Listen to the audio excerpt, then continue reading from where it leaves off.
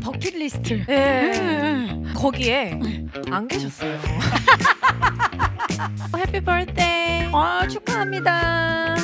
아쿠아찐 따까모 잘한다. 아쿠친 따까무 예. 팀 지니의 배우 지창욱 씨와 수영 씨를 모십니다. 네.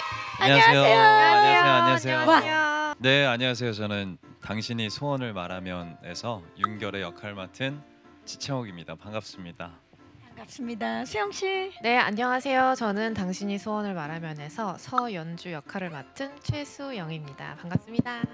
지금 난리 났어요. 이 당신이 소원을 말하면을 지금 다들 기다리고 계시거든요. 어떤 작품인가요, 창욱 씨? 네 굉장히 따뜻한 드라마예요 그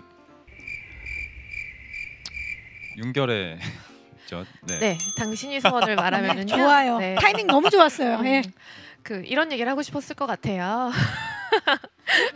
네, 삶의 끝에 내몰린 위태로운 청년이 호스피스 병동에 들어오면서 이제 팀 지니와 만나면서 연대하고 사랑하고 성장하는 그런 이야기입니다. 아 이- 일단은 그 수영이 칭찬을 제 주변에서 진짜 정말 너무 많이 들었어요. 그래서 사실 수영 씨가 같이 이제 저하고 촬영을 한다고 했을 때 굉장히 안심이 되더라고요. 음. 일단 너무나도 좋은 배우라는 얘기들을 맞아요. 많이 들어서 음. 그래서 사실 어 너무 다행이고 정말 이번 작품 정말 너무 즐겁겠다 이렇게 생각을 했었는데 어, 역시나 네 항상 대로. 네 현장을 굉장히 밝게 만들어주고 되게 저한테는 너무 너무 좋은 파트너였던 것 같고요. 아니 이렇게 시작부터 네. 진심 말하기 있어요? 이런 거는 원래 보통 네. 마지막 부분에 저희 모닥불이라도 좀 피워놓고 하는 얘기를 아, 그럼- 다시 얘기할까요? 네. 자 이번엔 수영 씨 어, 저는 제가 정말 꼭 한번 작업해 보고 싶었던 마음속으로 생각했었던 그런 배우 있잖아요. 배우 버킷리스트 네. 음, 그 거기에 네. 안 계셨어요. 어. 반전 너무 좋아 아, 농담이에요. 아 정말 정말 지창욱 배우님을 꼭 한번 작품에서 만나고 싶다고 늘 생각하고 있었거든요. 근데 예, 첫 리딩 우리 그냥 한 뭐 저랑 이제 오빠랑 성동일 배우 성동일 선배님 같이 만나서 하는 그런 리딩 잠깐 가졌었는데 그때부터 저는 너무 네, 잘 맞을 것 같다고 생각했었고 하면서 제가 좀 걱정이 많아서 좀 많이 고민하던 씬도 현장 가면은 오빠 그냥 보면은 다 해결될 정도로 너무 신뢰를 많이 주는 배우이신 것 같아요. 서로가 서로에게 이제 믿음을 주고 신뢰를 줬던 그런 현장이었을 것 같고 이번 드라마에서 맡은 역할을 위해서 특별히 준비하거나 신경 쓴 부분이 있다면 어떤 부분일까요? 결애 어 일단은 저는 이번 드라마를 위해서 약간 열린 마음을 준비했고요. 네. 그건 그냥 마음을 열면 되는 거 아닌가요? 어 마음을 여는 게 상당히 힘들거든요. 쉽지. 않죠. 네, 특히 저는- 결애는 네, 네. 그게 약간 어떠한 되게 말랑말랑한 마음을 위해서 좀 준비를 굉장히 많이 했던 것 같고요. 사실 그러니까 마음의 준비가 되게 중요했던 네. 음. 그리고 뭔가 저는 사실 크게 준비한 건 없는 것 같아요. 말씀을 꼭 이렇게 겸손하게 하세요. 네, 크게 준비를 했다기보다 사실 저는 현장에서 뭔가 배우들하고의 어떤 유대감 음. 그리고 우리 호흡? 팀원들하고의 그런 호흡 이거를 굉장히 많이 신경을 썼던 작품이었던 것 같아요. 네, 연주가 일단 운동 광으로 나오기 때문에 첫 등장이 아예 운동하는 씬이었어요. 네. 오. 그래서 몸을 좀 만들었는데 근데 원래 또 운동을 잘하고 수영 씨는 아 저는 운동을 못해요. 아 그래요? 네, 저 운동을 별로 안 좋아해요. 아니 이런 몸매를 가졌는데 그런 말을 하다니요. 아니 그래서 이번 드라마를 계기로 운동을 시작을 했어요. 근데 제가 막 그렇게 인바디 막 재고 본격적으로 하려고 하니까 제가 생각보다 몸이 정말 너무 안 좋은 거예요. 예, 그래가지고 운동을 이번 드라마를 계기로 운동과 친해지면서 네 운동을 하게 됐는데 그 연주의 등장 씬 날 그날 그 촬영이 한 두 번 취소가 됐어요. 어 이유는요?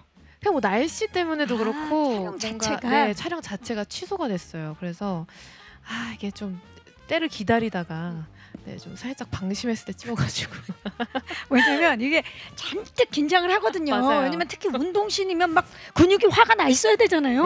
네, 화가 안 나더라고요. 큰일 났네. 그러니까 너무 오래 기다리다 보니까 오래 마음이. 평온해졌고 얘가 얘가 약간 이렇게 너무 평안하게 내려놨군요. 내려 내려놓은 거예요. 그래가지고 좀 아쉽 아쉽지만 근데 사실 막 몸을 딱 만든다고 해서 제가 만들었어 이렇게 했는데 감독님이 연주는 일단 노출이 많은 옷을 안 입었으면 좋겠다.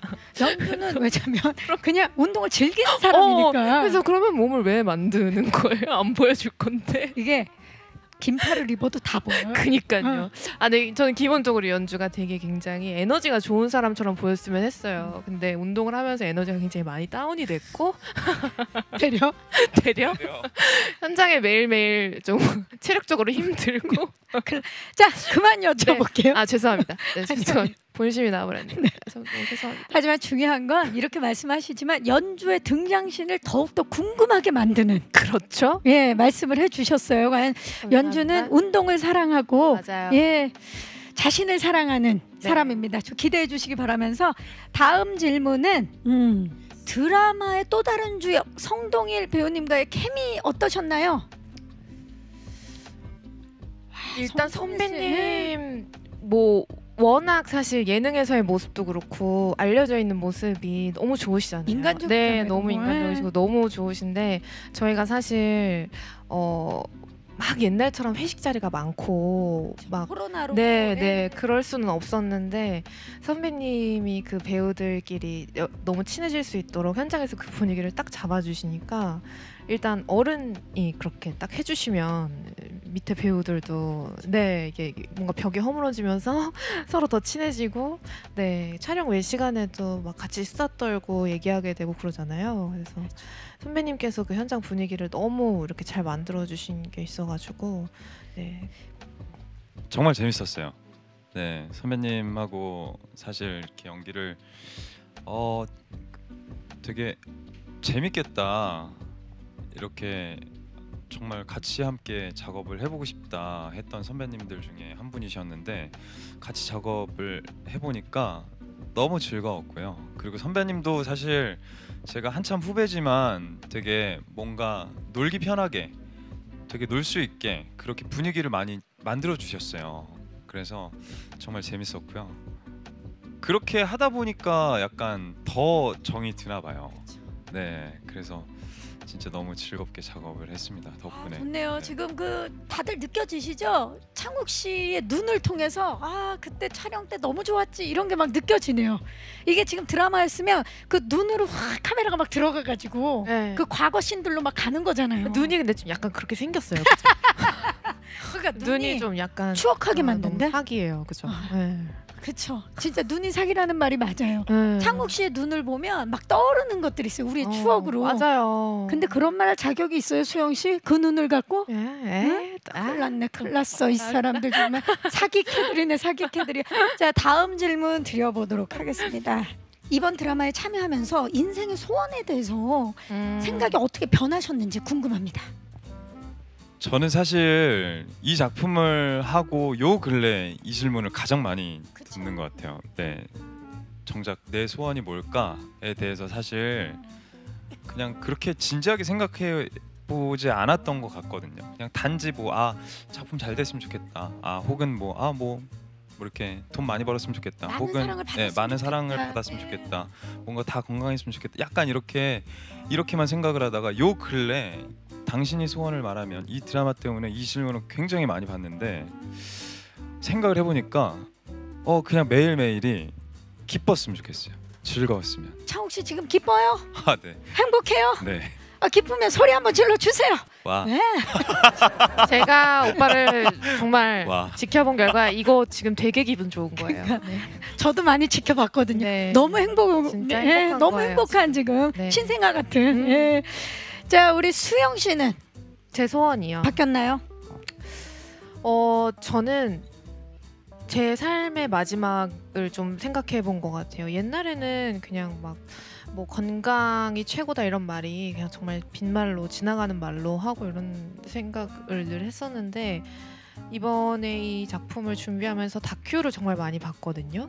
근데 진짜 그 호스피스 병동의 다큐를 보면서 하, 정말 그 가족분들이랑 그 헤어짐에 대해서도 좀 많이 생각하고 진짜 건강할 때 운동도 많이 하고 그리고 많이 쉬고 그리고 사랑하는 사람들이랑 같이 여행도 더 많이 다니고 해야겠다 그런 생각을 하게 되면서 제 삶의 마지막에 저 팀 지니 같은 사람을 꼭 만나고 싶다. 자 지금 보면서 너무 즐겁다고 계속해서 댓글 올려주고 계시는데 또 좀 소개를 해드릴까요 실시간 댓글? 네. 수영 언니 오늘 제 생일인데 언니를 볼 수 있어 너무 행복해요. 어 진짜요? 인도네시아 팬이. 어, 생일 축하해요. Happy birthday. 아 축하합니다. 예.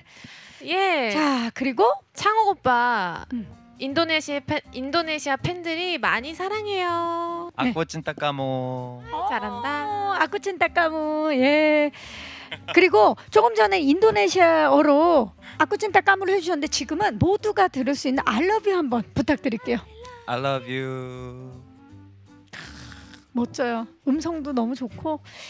자 이렇게 해서 댓글도 소개를 해드렸고요. 예, 당신이 소원을 말하면 이제 8월 10일 날 예, 전 세계 16개국에서 예, 만나볼 수 있고요.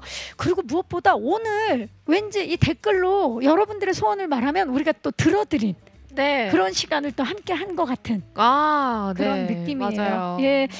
자 아쉽지만 이제 인사를 드려야 될 시간입니다. 오늘 어떠셨어요? 아 오늘 이런 거 진짜 오랜만에 해보는 것 같아요. 그쵸. 네, 근데 저희가 홍보 일정이 사실 오늘 처음이거든요. 음. 그래서 되게 너무 뜻깊고 저희도 드라마 촬영 때 생각이 새록새록 나면서 너무 감동적인 그런 시간이었습니다. 또 이렇게 Viu 통해서 제가 따로 인사를 못 드리는 우리 해외 팬분들 만날 수 있어서 너무 좋았습니다. 창욱 씨는 어떠셨어요? 네 이렇게 지금 보고 계시는 Viu 시청자 여러분, 네 오늘 너무 정말로 반가웠습니다. 즐거운 시간이었던 것 같고요. 어, 매일 매일 기쁘셨으면 좋겠습니다. 네 항상 행복하세요. 감사합니다. 네, 감사합니다. Viu 시청자 여러분들 감사의 말씀 드리고요. 그때까지 많은 사랑과 관심, 응원 부탁드리겠습니다. 저는 진행의 박경림이었고요. 지금까지 배우 지창욱 씨와 수영 씨였습니다. 고맙습니다. 감사합니다. 감사합니다. Thank you. Thank you. Love you.